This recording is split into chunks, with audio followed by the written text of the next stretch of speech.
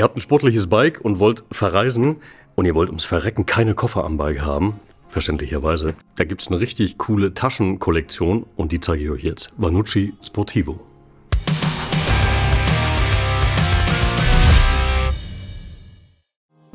So, äh, ich hoffe, Mali zoomt jetzt gleich mal ein kleines bisschen raus. Schick. Genau, und er sagte gerade so im Hintergrund, äh, damit die Leute nicht denken, was ist denn das für ein Knecht? Was hat denn der da an? Äh, da komme ich später zu, denn das ist so das letzte Gimmick, was ich heute vorstellen möchte. Ansonsten fangen wir an beim Tankrucksack. Und wir haben hier mal unsere Triumph wieder mitgebracht. Also doch, so ein Naked Bike, schön sportlich und ich glaube, euch ist klar, wenn ihr damit verreisen möchtet und ihr habt vielleicht auch ein ähnliches Bike, packt man da Koffer ran, so mit Kofferträger und dann diese fetten schwarzen Plastikteilchen oder also so Alukoffer. Definitiv, definitiv nein. Das, das sieht nicht gut aus. Ja? Es geht auch immer ein kleines bisschen um Optik. Ich zeige euch jetzt die Vanucci Sportivo Gepäckreihe von Luis und da könnt ihr wirklich verreisen mit und das sieht auch noch richtig, richtig gut aus. Angefangen im Tankrucksack. Und das ist der hier, der kleine, denn ich habe nachher auch noch einen großen dabei. Der ist in erster Linie auch erstmal magnetisch. Das hört ihr jetzt gleich wieder. Achtung. Und die halten wirklich auch sehr, sehr bombig.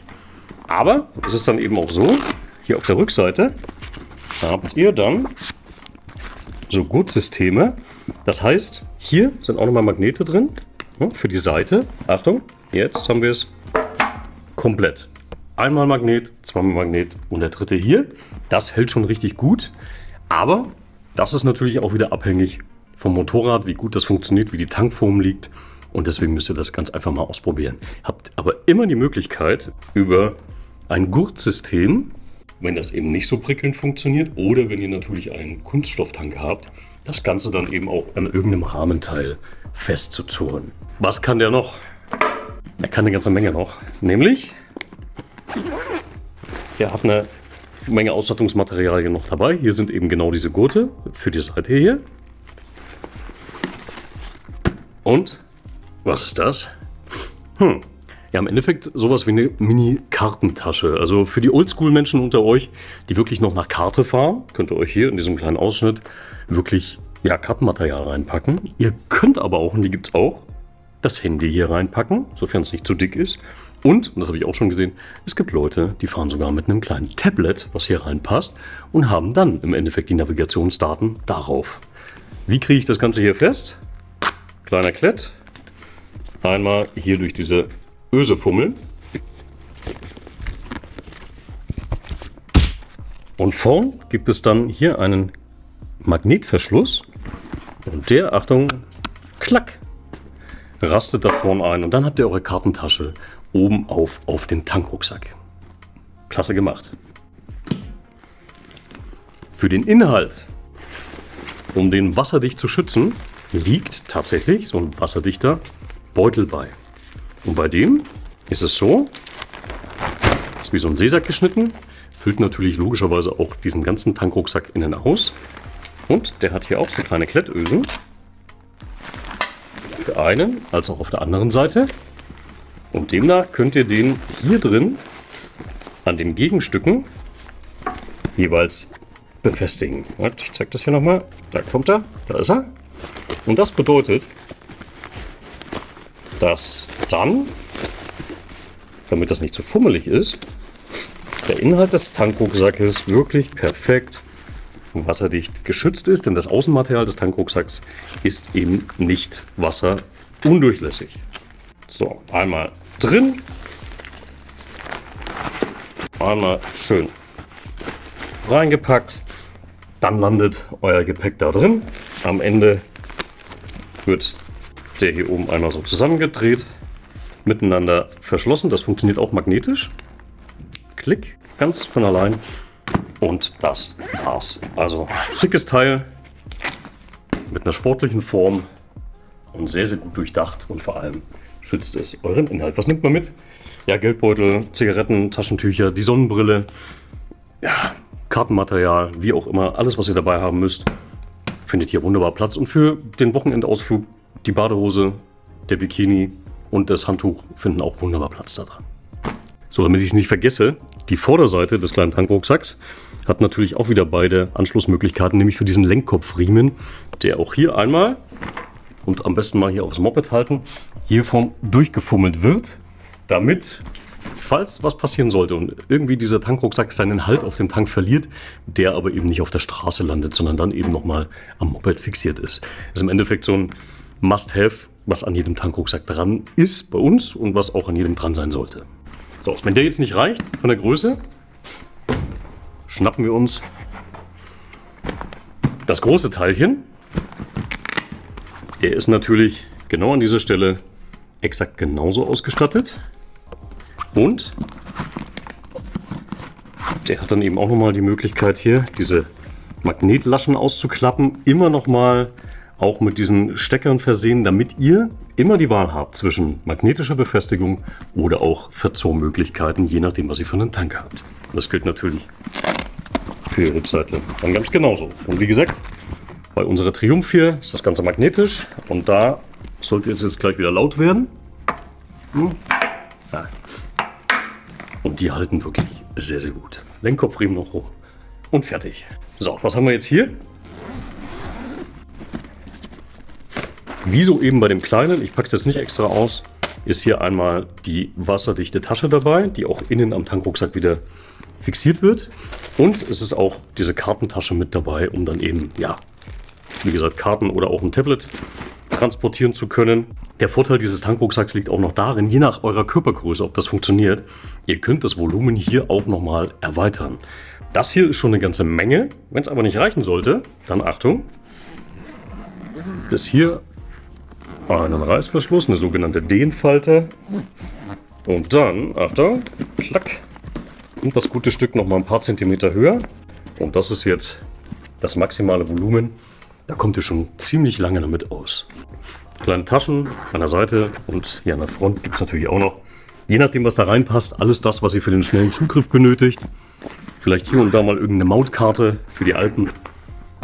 Ja, ansonsten das Maximum an Tankrucksack, was wir aktuell bei dieser Gepäcklinie zu bieten haben, was aber eben auch noch fahrbar ist. Also ihr müsst ja auch immer sehen, dass ihr in der Sitzposition dann auch nicht unbedingt da oben aufliegt. Also ihr wollt zwischendurch ein Nickerchen machen, aber es darf eben beim Fahren auch nicht behindern. Wenn ihr mit dem Moped in einer Louis-Filiale seid, am besten austesten, draufsetzen und gegenchecken. Weg vom Tankrucksack, wieder mal auf ans Heck, denn es gibt natürlich dann auch eben diese Gepäcklösung anstatt Koffern sich textile Satteltaschen daran zu bauen und die eben wie angesprochen, in dem Falle einer wirklich sehr, sehr sportlichen Form im Manucci Sportivo. Die sind von oben zu befüllen. Das ist diesen Deckel hier. Zack. Und hier könnt ihr dann schon mal auch dieses Grundvolumen sehen. Sollte das tatsächlich auch wieder nicht ausreichen, dann gibt es auch hier, ähnlich wie beim Tankrucksack, so eine leichte Dehnfalte und dann springen hier noch ein paar Liter mehr raus. Also das ist dann auf beiden Seiten natürlich möglich und das ist jetzt in dem Falle auch äh, die maximale Zuladung, das maximale Volumen. Wie ihr sehen könnt hier im Deckel, auch sehr, sehr praktisch, nochmal so ein extra Dokumentefach für das, was ihr eben im Schnellzugriff dann eben auch braucht. Und ihr denkt euch wahrscheinlich eine Sache schon, naja, wasserdicht ist das Material wahrscheinlich hier auch nicht. Korrekt. Demnach, und das ist jetzt bei der anderen Tasche dabei, ich hole es gerade mal raus, liegen natürlich auch hier, wie beim Tankrucksack auch, diese wasserdichten Innentaschen bei. Und da verpackt ihr dann wirklich euer Gepäck drin. Und dann braucht ihr niemals zwischendurch anhalten, weil der Wolkenbruch kommt und irgendwelche Regenhauben darüber fummeln. Nein, ihr könnt dann ganz einfach weiterfahren. Jede Menge Gutzeug liegt hier auch noch mit drin, denn, und jetzt packe ich die mal schnell weg, diese Satteltaschen müssen natürlich wirklich fest am Fahrzeug verzurrt sein. Das passiert einmal über diese vier Klettriegel hier, übers Heck von links nach rechts. Und die sind natürlich logischerweise, weil es Klett ist, in ihrer Länge variabel. Und die richtet ihr euch so ein, dass es für euch passt. So wie wir das jetzt hier einfach mal so ganz pauschal drüber geschmissen haben, haut es natürlich nicht hin, weil das Ganze einfach viel zu wackelig ist, sondern am besten unter der Sitzbank durchlegen, vielleicht auch zwei unter der Sitzbank, ein, zwei über der Sitzbank, je nachdem wie es funktioniert und mit ausreichend Abstand zur Auspuffanlage, weil das hier Ist natürlich jetzt definitiv nicht optimal, weil dann kokelt euch die Tasche links und rechts natürlich an. Es gibt auch für viele Maschinen, und schaut euch da mal in der Louis Bike Datenbank um, Abstandshalter, die auch sportlich und schick sind. Und dann liegen die Taschen da hinten an. Und da ist immer ein gewisser Abstand zum Auspuff gegeben und dann passiert da überhaupt nichts. Mit dem Gurtzeug, was beiliegt, spannt ihr dann die Satteltaschen. Die haben mehrere Möglichkeiten. Hier sind so ein paar Ösen, hier und hier.